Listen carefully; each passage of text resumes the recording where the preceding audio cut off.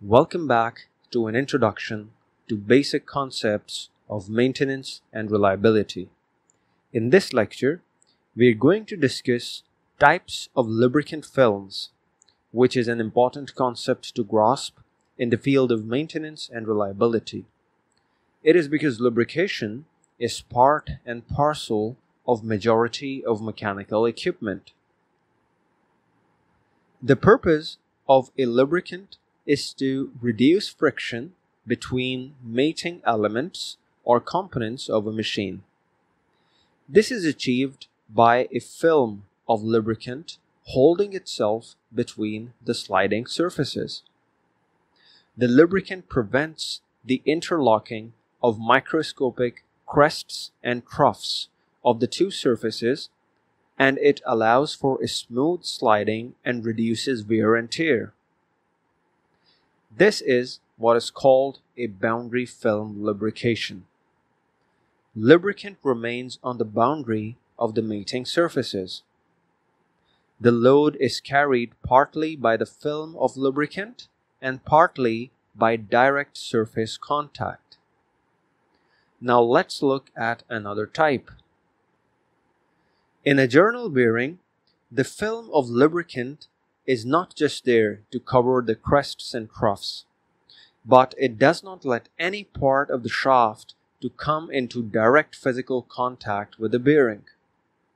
The lubricant oil is pressurized enough to maintain a thick film of lubricant such that the shaft keeps rotating in the lubricant without ever touching the boundaries. This type of lubricant film is called full film lubrication or thick film lubrication. That is, the shaft never touches the housing and lubrication is not present just between the crests and troughs, but it keeps the two surfaces physically separated from each other. Thick film lubrication is further divided into two types.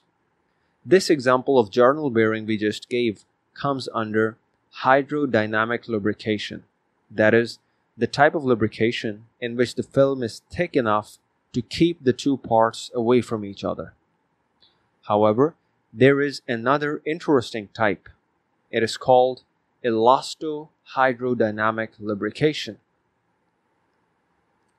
In elasto-hydrodynamic lubrication, it is not the thickness of the film that separates the sliding surfaces.